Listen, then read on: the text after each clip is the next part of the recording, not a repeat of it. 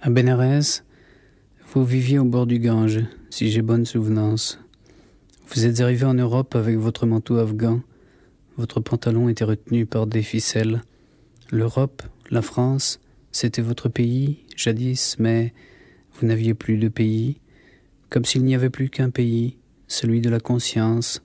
Et s'il fallait parler de patrie, vous parliez du pays de l'homme, ce pays où l'homme a rarement mis le pied. Vous avez eu du mal à être pris en autostop par les voyageurs quotidiens de la vieille Europe. Vous avez marché longtemps et vous êtes arrivé quand même à Paris.